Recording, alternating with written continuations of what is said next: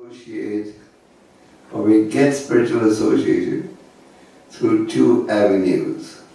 И мы можем получить духовное общение че- э, двумя способами. One avenue is associated with devotees personally, Первый способ – это личное общение с преданными.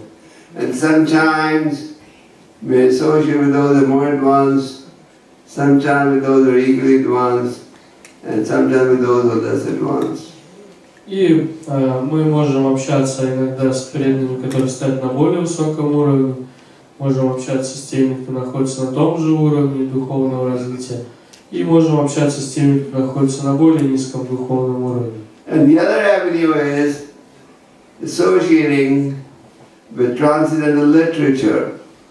И другой способ духовного общения – это общение с, духовной, с духовными книгами. Just like why do we encourage book distribution?